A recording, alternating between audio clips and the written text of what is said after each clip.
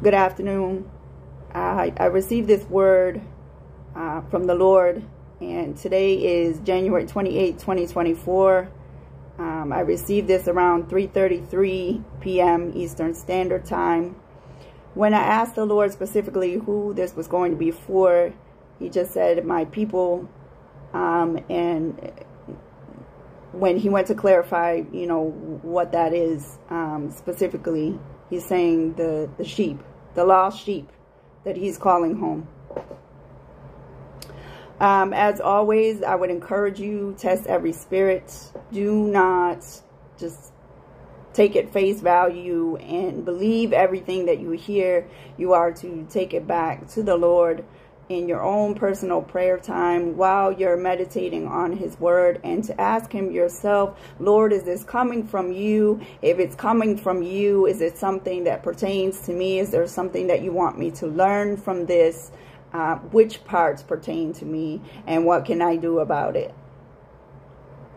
That being said, this is what the Lord said. Where are you? Why have you grown weary of me? Have I not looked after you with my all-seeing eyes since the womb? Come back to me, you who have wandered afar off. It is not too late. Your sin has caused a separation between us. I long to comfort you and to bind up your wounds. Why are you running from me? Where will you go that I cannot find you? I am God. Does he who made the eye not see? Does he who made the ear not hear? You are wondering why I have forsaken you, but you traded the time we could have spent together for the idols in your heart. How have you let these things take my place? They cannot give you lasting joy, but in my presence is fullness of joy. They cannot take away your burdens, but my yoke is easy and my burden is light. They cannot take away your shame, but I promise you a double portion and to take away the shame of your youth. They cannot give you lasting peace, but my peace is everlasting and surpasses understanding. Why are you hiding from me? Where can you go from my spirit? Because I am silent, you think I am not there, but it is written, I will never leave or forsake you. I keep my promises. You are chasing after vanity and the things of this world. The earth and everything in it are perishing, but my promises are eternal. I shed my blood to bring you near to me, to reconcile the relationship we once had. I have always known you. I know your spirit. You have always been mine. I am your father. Can a mother forget her suckling child? Yet even so, I will not forget you. My thoughts of you outnumber the grains of sand on the seashore. You rebel against my laws, but I put them in place to protect you from the evil one. The whole world is under his sway, but he's got nothing in me. I am coming soon, and I long to take you with me. Grab a hold of my outstretched arm, and I will pull you out of the miry clay, the muck and the mire. I will cleanse you of all unrighteousness. Take away the stain of your transgression. I will give you a new heart and renew a right spirit within you. This new heart I give you will cause you to desire to do my will. You will obey me out of love, not fear. I will bind up your broken heart. I will heal you of your afflictions. I will remove the shame and the guilt from your sin. I will take it away. I will comfort you as a father comforts a child in distress. My perfect love will cast out your fears. I will give you rest from your enemies and shield you from those who seek to do you harm. I will nurture and protect you like a lioness watches over her cubs. I will supply all your needs according to my riches and glory. No good thing will I withhold from you, from those who love me. I will watch over you like a hawk. I will protect you and guard you as with a shield, but you must turn from sin. You must turn from rebellion. You must turn from wickedness and remember it no more. You must come out from among them, for friendship with the world puts you at enmity with me. Believe in my Son, Jesus Christ, follow him. Repent of the way you have been living. Confess you have sinned. Ask me to forgive you, and I will remember your sins no more. I will crown you with glory, and I will make you mine forever. They that call upon the name of the Lord shall be saved. Call upon me while I am near.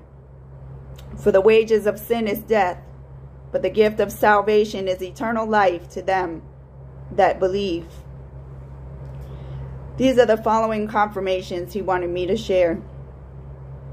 1 Kings chapter 18 verse 36, just this part. Let it be known this day that you are God in Israel, and I am your servant, and that I have done all these things at your word. 1 Kings 18, verse 39. Now when all the people saw it, they fell on their faces and they and they said, The Lord he is God, the Lord he is God. Ephesians chapter 5, verse 17. Therefore do not be unwise, but understand what the will of the Lord is. Ephesians 5 26 to 27, that he might sanctify and cleanse her with the washing of water by the word, that he might present her to himself a glorious church, not having spot or wrinkle or any such thing, but that she should be holy and without blemish. 1 John chapter 4, verses 16 to 18. And we have known and believed the love that God has for us. God is love.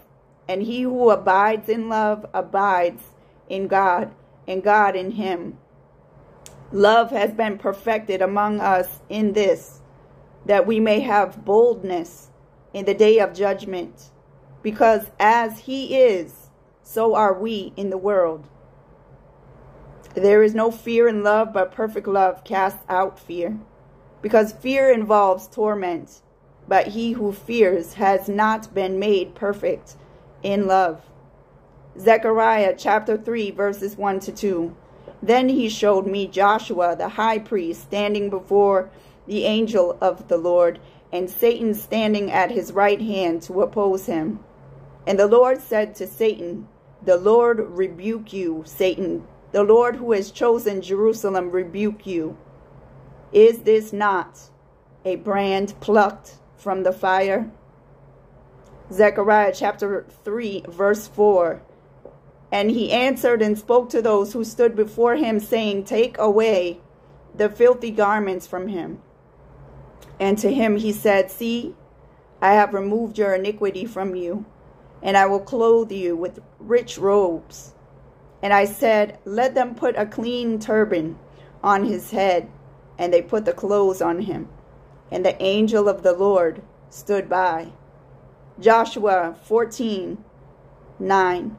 So Moses swore on that day, saying, Surely the land where your foot has trodden shall be your inheritance, and your children's forever, because you have wholly followed the Lord my God.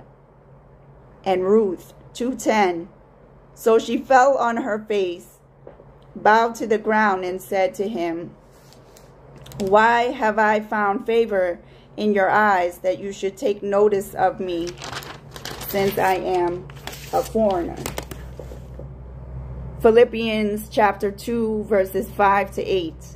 Let this mind be in you, which was also in Christ Jesus, who being in the form of God did not consider it robbery to be equal with God, but made himself of no reputation, taking the form of a bondservant and coming in the likeness of men, and being found in appearance as a man, he humbled himself and became obedient to the point of death, even the death on a cross.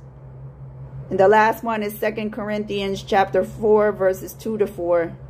But we have renounced, meaning come out of agreement with the hidden things of shame, not walking in craftiness, nor handling the word of God deceitfully, but by manifestation of the truth.